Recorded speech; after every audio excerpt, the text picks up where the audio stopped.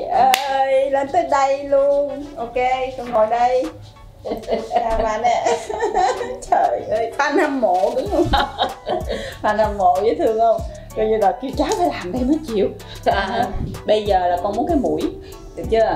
Bác làm cho con cái mũi hoành tráng làm sao cho ok về phong thủy nha. Về phong thủy. Có thể là bác tặng cho con cái cầm. Cầm ở đây là tim nghe thế này nè cái mũi nó muốn đẹp được nó phải cùng với cái cầm, cái môi, cái mắt nó đi một bộ nó mới đẹp, phải không? Mình ráp cái mũi đẹp của người khác vô không phải, cho nên là cái mũi con nếu mà bác làm hơi cao chút nha, thì đôi mắt này được rồi, không cần phải cắt. Cái đôi lông mày của con thì con nên có cái viết chì màu đen nâu vẽ vẽ vô, được chưa? Không cần phải phun xăm gì chân để tự nhiên vậy ha.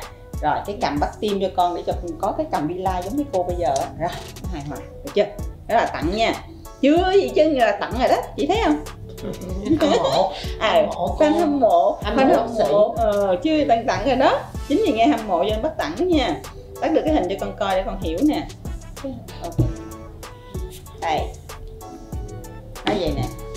Bà bà nội thấy không? Bà nội thấy rõ không? Đó. Tức là cái dáng mũi sẽ dáng mũi giống như thế này và cái cầm thì không có nhiều như cô này. Cô này là hot girl cho nên của con là bắt làm nhẹ nhàng chút ha. Làm nhẹ nhàng chút. Cái cầm nhẹ nhàng nó cỡ vậy. Nó chút chút vậy à, cái cầm cỡ nó gì? Ok. Rồi. Tại vì cái gương mặt của con cái mũi mình lên là cái cầm thiếu liền. Chưa? Đây giờ hơi thiếu thôi nhưng mà lên cái mũi.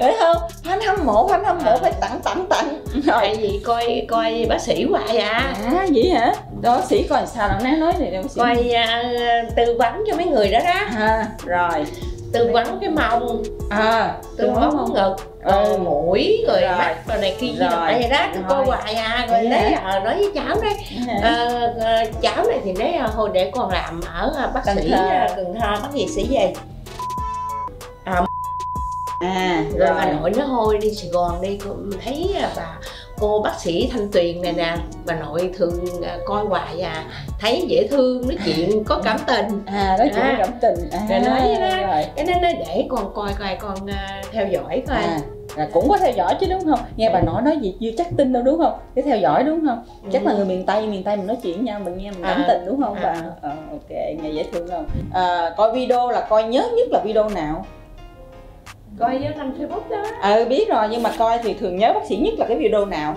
Video mà thử cái đang coi hoài ha. Con có nhận để ý đâu. Gì? Khúc đó là ghi ờ, bác sĩ nói là ví dụ bác sĩ cho con là cái diện bên ngoài là đẹp rồi đúng không? Ừ. Nhưng mà cái trong của con ở bên trong á là mình phải tu tập làm sao? À ha trời ơi hôm nay hôm nay mới có một người hiểu được cái ý của mình. Con con hiểu cái ý đó rồi đúng không? Tức là gì? Nhiệm vụ của bác sĩ là gì bác sĩ phẫu thuật thẩm mỹ người ta chỉ cho con cái bên ngoài thôi. Nhưng cái bên trong của con, cái lòng con phải tốt theo như cái bên ngoài nữa thì nó mới đẹp hoài nha. Còn nếu không nó cũng thay đổi, nó cũng thay đổi thôi. À cho nên là thay đổi bên ngoài con tự tin lên. Con tự tin lên thì con sẽ có cái nhóm bạn cao cấp hơn. Con có công việc công ty cao hơn. Mình sẽ hang ao mình sẽ có nhóm bạn cao cấp hơn. Ở đây mình không phải mình chê khen nhóm bạn cũ gì hết á, nhưng cái cái thanh niên mà, tuổi trẻ mà, mình phải có tham vọng, mình phải có bước lên. Rồi, mặc dù khó khăn, mặc dù thử thách khó khăn, nhưng ráng lên ráng lên. Bước cao lên nữa, biết đâu mình mình lên từ từ từ từ. Hồi nào mình không hay, còn mình chạy ào lên cái thì hơi khó, nhưng mà mình từng bước từng bước từng bước. Vậy đi, giỏi, nó hiểu được cái ý video của bác sĩ. Nhà bà nội đó, đúng không? Rồi, ok, thôi đi qua bển làm hồ sơ nha. Rồi, tí nữa bác sĩ lên gặp bà nội trên lầu sao hiểu được cái video bác sĩ luôn đã đời chưa?